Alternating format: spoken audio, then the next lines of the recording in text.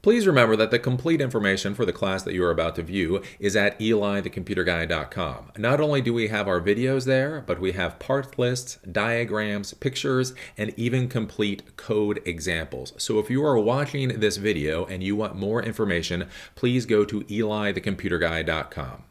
Welcome back. As you know, I am Eli, the computer guy, and in today's class, I'm going to be showing you how to use get in PHP in order to send variables and values within hyperlinks. So this can be a very useful thing in order to create a dynamic PHP web application if you need to be sending variable values in, frankly, a pretty unsecure fashion. So think about things such as, what if you want your users to be able to change the font size? So again, from a user experience standpoint, what if you want somebody to be able to click on a hyperlink and simply make the font size for the text bigger? Uh, being able to use get is a very useful and easy way to do that. Or if you want to do basic things such as do simple searches within a MySQL uh, database. So let's say you want to show all images or all records from a specific user, or you want to see all records that associate with a specific tag, then using get within PHP is an easy way to do that. Essentially, the hyperlink is formatted in such a way that when you click on the hyperlink, it then sends the variable name and the variable value to the PHP script. The PHP script can then pull out the value from that variable, uh, and then it is now a variable that you can interact with however you want. So it is important to understand that when you're using Get, this is a very insecure way of being able to send variable values, but it is also a very easy way of doing so, and so it might be useful for your PHP application. So with that, let's go over. I will do a demonstration demonstration to show you what we're going to be uh, coding for today. Uh, then I'll go and actually show you the code and show you how this works. So here's the demonstration that we're going to be building today. Basically what I've done is I've created uh, four different hyperlinks here and with these hyperlinks what they will do is they will format the text down here. Uh, so this is the text without any formatting at all. You can see we have gone to my server and we've gone to a script called get.php and when you simply come here this is everything that prints out. Now basically what I've done with these hyperlinks is this first hyperlink here says change color to blue. This hyperlink is then going to send to this get.php script the value for the color being blue. So if I click on this, we can now see that's get.php color equals blue. And down here, we can now see that the text is blue. If I click on the change color to red, we can now see that the text down here is red and we can see the color equals red. Now, one of the things I also want to show you is that you can send multiple uh, variable values. So here we have change color to blue and size to 20. So we click on this and now the font size is now 20 and it's blue and change color to red and size to 40. Now we can see that it's red and the size is 40. Now up here, what we can see is that we are passing variable names and variable values up here. And then basically this get.php script is then parsing that, being able to grab the values out, and then we're able to interact with those values just as normal uh, variable values in any other PHP script. Now the important thing to understand is that this is a very insecure way uh, for being able to send variable values. So you should not, to be clear, clear. You should not be sending usernames and passwords or server addresses in this. Just to show you how insecure this is, is one, one, we can completely read this. Like this, I'm not doing anything special. Like this shows up just because it shows up. And then the other thing is people can simply come in here and just modify it as they see fit. So if I want to do size 60 and I hit enter, we can now see that it's size 60. Now, I, I don't have size 60 coded anywhere into the script. I can simply just come in here and just modify again as I want. I could do a green, right? And I hit enter, and now the text is green. So this is where I say this is a incredibly insecure way of sending variable values. But again, if all you're doing is doing things such as uh, making text bigger, changing colors, doing basic stuff like this, uh, being able to send the variable names and values in a hyperlink is very useful. So with that, let's go over and actually take a look at the code. So here's the code that we have for this particular project. Uh, now it is important to understand with this particular project, we only have one file. So we simply have the one get.php script. There are no additional scripts or files that go along with this. Essentially what happens is basically we are just passing these uh, these uh, values in the hyperlinks to the script itself. Then the script itself parses it and it modifies. So there's no additional, there's not two or three scripts here. We simply have this one script file. Now I am showing you how to write this today in VS Code. It is important to understand. All you need is a basic ASCII text editor in order to be able to code in PHP. So um, you can use Notepad in the Windows world, TextEdit in the Mac world, gedit, Nano, Vim, whatever you want in the Linux world. I've decided to start using VS Code because it's a little bit easier for you folks to be able to see what's going on, especially since it does things like changing colors and such based off of whatever you're doing. So this is the script itself. Again, all this is is get.php. This is up on my LAMP server, my Linux Apache MySQL PHP server.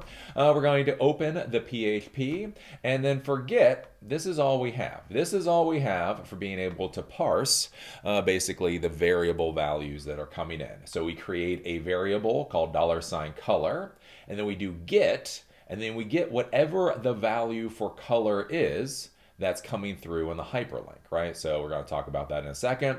Then we create a variable for size, dollar sign size, get, and then whatever the value for size is. Then we come down here and basically up here, these are the get hyperlinks that I've created. So we're echoing out four different hyperlinks. Uh, so the first echo, what we're doing, printing out the hyperlink, is so we're going to send to get.php. So it's period forward slash get.php. So this is saying in the current folder, go to the script called get.php. Then we're going to give it a question mark. Very important. We give it the question mark. The next thing is basically we're saying, okay, we're going to be sending you variable names and variable values past this. And then all you do is you give whatever the variable name is. And so you you make this up. Whatever variable name you want it to be, you can name it whatever you want to be. If you want it to name Bob and Tim and Fred, you can name that.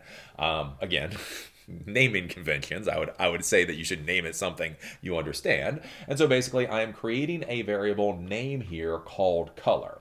And the important thing is is this variable name is going to go here within the get.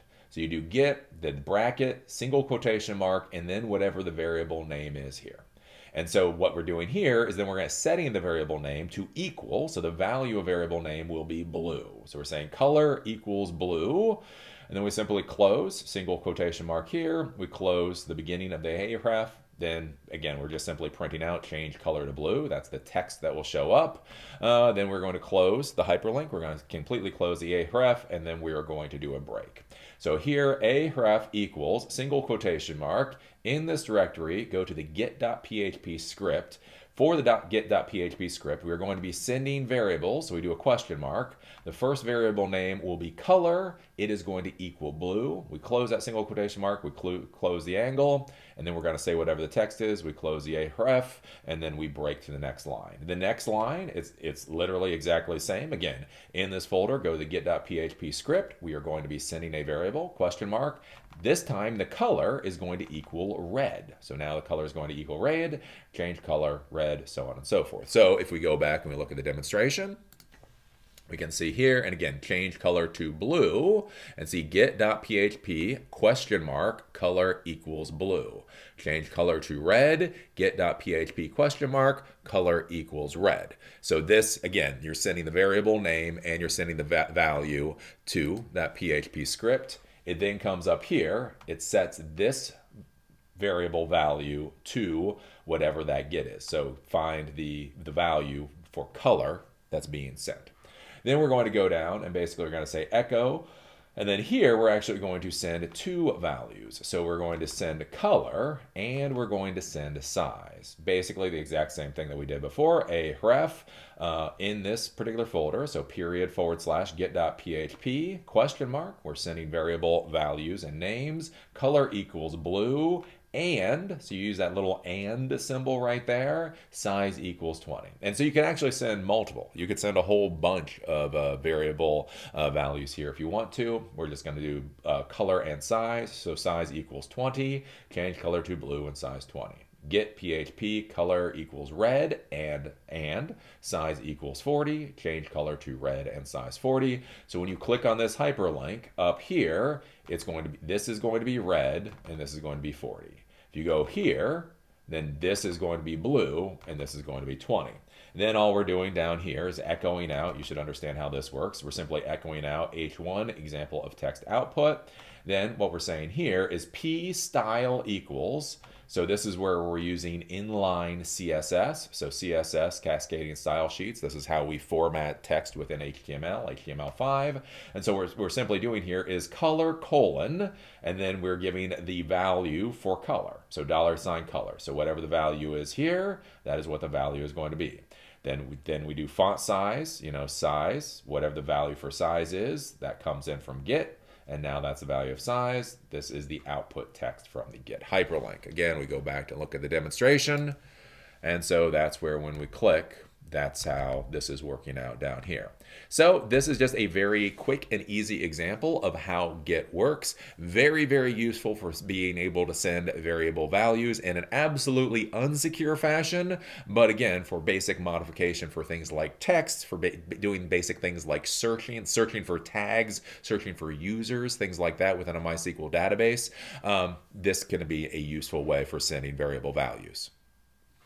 So now you know how to send variable names and values using get in PHP. Again, this is a very easy way to be able to send uh, variable values simply using hyperlinks in order to do things like text size or doing basic searches, that type of thing, right? So basically what you'd have is in the hyperlink, again, you point to whatever PHP script you're pointing to, then you do a question mark, then you do the variable name equals, and then whatever the value is. You then do the and symbol, variable name equals whatever the value is and the symbol if you want, variable name equals, so and so, so on and so forth.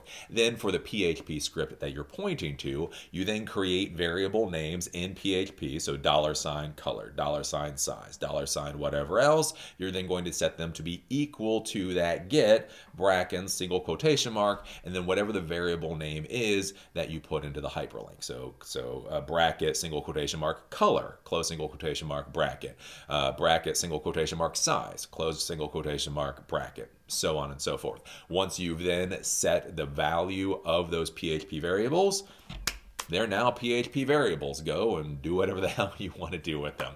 Um, but do be careful. Have I told you that this is completely and utterly insecure? Have I, have I told you that? Have I told you the fact that basically your end users are going to be able to see exactly what variable names and values you're sending to the PHP script? So don't put in usernames, don't put in passwords, don't put anything like that. And again, your end users can very easily modify uh, that get. So basically, you, as I showed you, they they can change the, the size of the font, they can change the color, whatever else. And so again, this is an important thing. This is why, like if you're going to be interacting with something like a MySQL database, you might do searches based off of this. So searching for tags might make sense. So basically, if they're clicking through and they're looking for specific tags, having the end user simply being able to go up in that hyperlink and modify what tag value it's looking for, that might be a very useful thing, very easy to do. On the other hand, you don't want to be using this to do things like add records or delete records or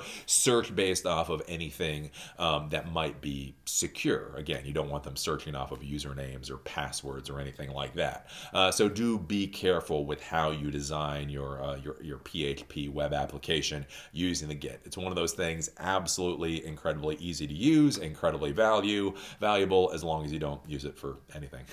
Too stupid. Too stupid. Too, too. So anyways, as always, I enjoy doing this class and look forward to seeing you at the next one. If you like the content that I create, please think about going to elithecomputerguy.com and becoming a member or donating.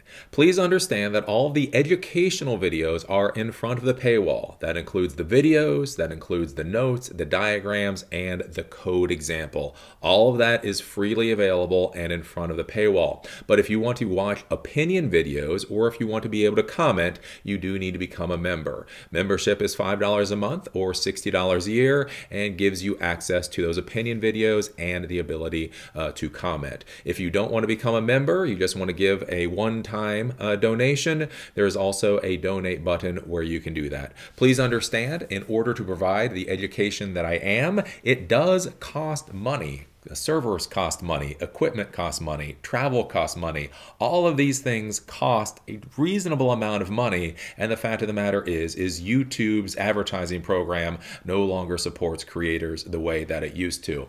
So if you want to these classes to continue to stick around and you find them to be valuable, please think about either becoming a monthly member or donating a few dollars for this project.